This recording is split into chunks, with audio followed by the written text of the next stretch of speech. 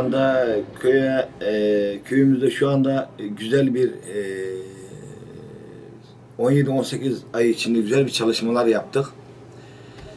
Şu anda merkez e, pazar yeri camimizin çalışmaları devam ediyor. Koy konağımız ve düğün salonumuzda çalışmalar devam ediyor. Bununla ilgili e, devletimizden ve hayırseverlerden çok yardım aldık. Tekrar köylerimiz, e, köyümüze yapılan yasama usulüyle orman işletmesinden 8525 metrekare bir alan aldık.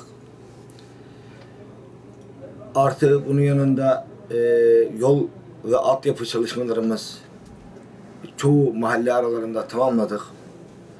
Şu anda e, Yukarıdağ Köyü Göncek ve e, Makas Mahallesi. Makas mahallemizin yol çalışmaları devam ediyor. İnşallah bu sene de onları asfalt programına aldıracağız. Gereken yazışmalarımızı yaptık. Özetle şöyle söyleyeyim. Ee, köy konağı ve düğün salonu bizi beya yordu. Ee, hayırseverlerden Allah razı olsun. Bize çok yardımcı oldular.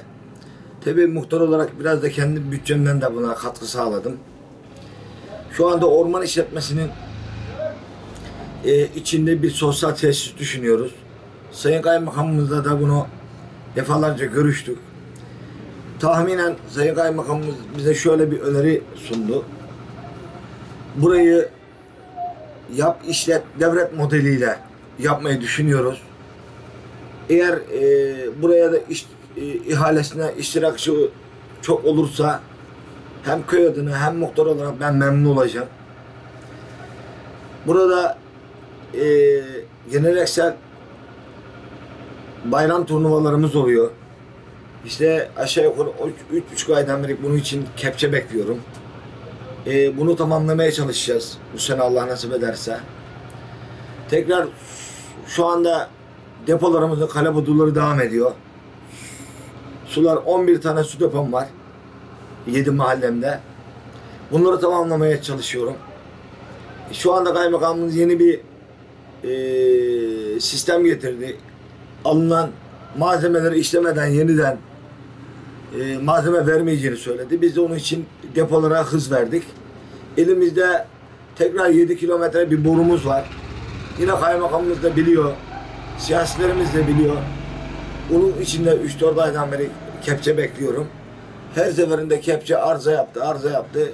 Alaplı şantiyesinde biliyorsun doğru bir kepçe olmadığı için her az bir sıkıya geldiği zaman arıza yapıyor. Şu ana kadar bu su borularıyla ilgili de kepçe alamadık. Onun için su borularımız şu anda durmakta. Allah nasip ederse yakın zamanda onun da geleceğini söylediler. Yetkilileri takip ediyoruz. Yetkilileri her gün rahatsız ediyoruz.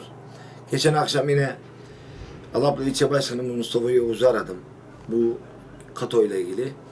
İşte en yakın zamanda geleceğini söyledi. Artı burada yine bir güreş sahamız var. Güreş sahamızı da en kısa zamanda altyapısını hazırladık. Geçen devre Sayın Milletvekilimiz Özcan Ulupınar seçilememişti. Tam o günlere e, yeniden seçilmiş olmuş olsaydı o, o devre e, bizim de e, güreş sahamız yapılacaktı. Şükürler olsun ki 1 Kasım seçimlerinde tekrar Özcan Ulupınar Sayın Milletvekilimiz seçildi. İnşallah onu da tamamlamaya çalışacağız. Şu anda köyün durumu bu şekilde. E, camimiz e, tam hız, muhtar olarak tam hız destek veriyorum.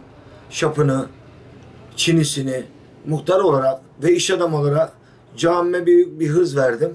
İnşallah camide en kısa zamanda açılışını yapacağız. Dernekteki arkadaşlarımıza da her seferinde söylüyorum.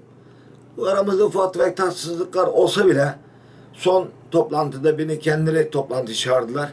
Onlara da teşekkür ediyorum. Köyümün durumu bu şekilde.